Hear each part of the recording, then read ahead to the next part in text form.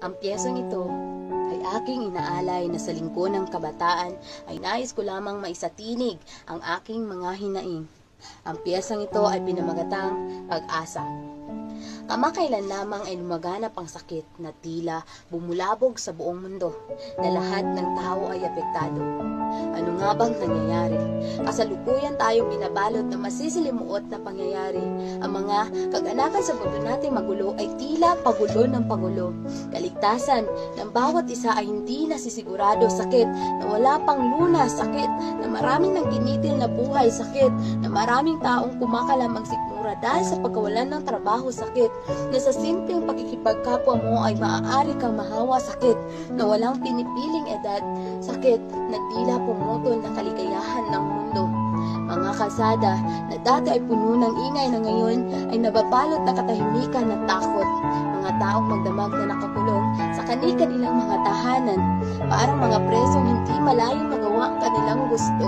Mga mahal sa buhay ay hindi mahagkan sapagkat nangangamba na baka magkakahawaan. Hindi na nga tulad ng dati. Hindi mo na makikita ang saya sa mata ng nakakarami. Wala na ang masisiglang ngiti na gumuguhit sa kanilang mga labi. Mga estudyante na dapat ay masayang pumapasok sa silid-aralan ay mistulang pinagkaitan ng pagkakataong matuto. Nakakalungkot isipin na ang bagong henerasyon ay apektado ng pandemyang ito. Maraming batang hindi man lang mararanasan ang normalidad ng mundo sapagkat maraming pagbabago ang dapat ay ating makasanayan. Kabataan, paano ka ba makakatulong? Paano tayo makakatulong? Nasa kasalukuyang dagok na ating kinakaharap na sa simpleng pagsunod sa patakaran ay makakatulong ka na. Huwag lumabas kung hindi naman kinakailangan. Huwag mong hayaan na maging pasanin ka ng iyong bayan. Palawakin ang iyong isip, buksan ang matang nakapikit at makinig ka sa mga babala. Sapagkat limit nito'y iyong kaligtasan.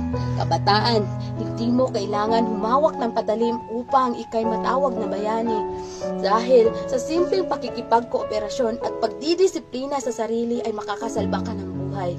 Kaya, saludo ako sa lahat ng frontliners na mas iniisip ang kapakanan ng iba kesa sa makasama ang kanilang mahal sa buhay.